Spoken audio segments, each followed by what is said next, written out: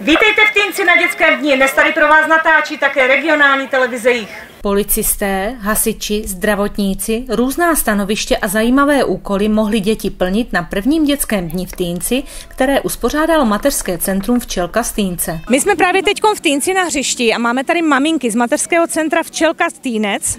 A dneska tady připravili nádherný dětský den, takže děvčata, co všechno jste vlastně dneska připravili? Tak eh, připravili jsme tady jak soutěže, tak eh, samozřejmě i nějaké jako ukázky.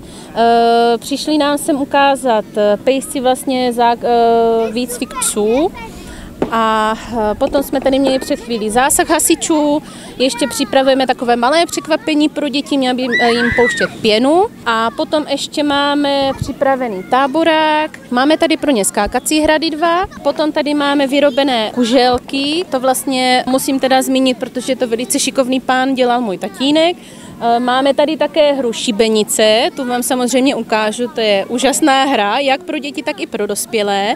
Potom tu máme hru Liže, to je vlastně atrakce, kdy eh, tři lidé za sebou musí projít slalom, což není jen tak jednoduché.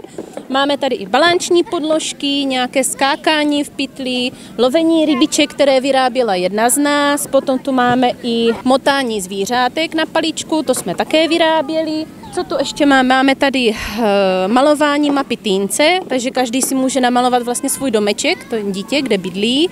A samozřejmě přijeli i babi z jamy s malováním na obličej.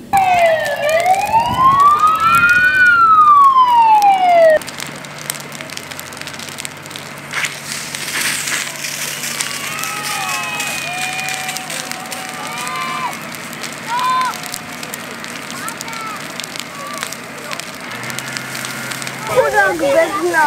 Ehula. Ehula. Ježíši, chudák. Ukázku, tu nejzajímavější, nám před chvíli ukázali hasiči, eh, kde hasili dřevěný domeček, to se dětem teda moc líbilo. Zdravotníci poté nachystali pro děti možnost vyzkoušet si masáž srdce a celkově první pomoc v nouzi.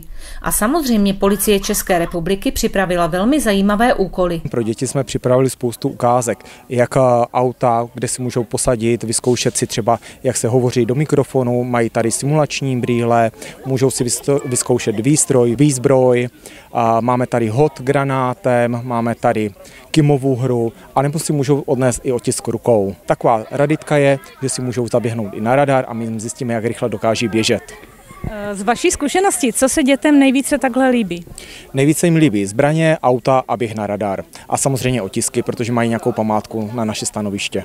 Mateřské centrum Včelka v Týnci vzniklo nedávno a maminky mají spoustu plánů. Oficiálně fungujeme asi od října 2023, když jsme se nárazově sešli v knihovně a řekli jsme si, pojďme udělat drakiádu a tím to vlastně celé vzniklo. Takže za sebou máme drakiádu, pomáhali jsme při tvořících dílničkách na, na rozsvěcování vánočního stromečku, na začátku roku jsme pekli na fašank koblihy, aspoň nějak jsme se trošku zaangažovali a první akci v letošním roce jsme měli vlastně hon na vajíčka, což byla velikonoční akce a byla to moc krásná akce na hradišťku.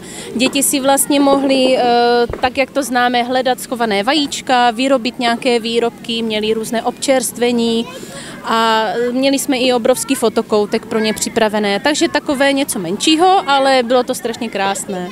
Kolik vás celkem je maminek, co se takhle angažují vlastně do organizace těchto akcí? Myslím, že je nás asi kolem 40, bych řekla. Různě se samozřejmě střídáme, po každé nemáme možnost se všichni zapojit. Co dalšího děvčata máte v plánu?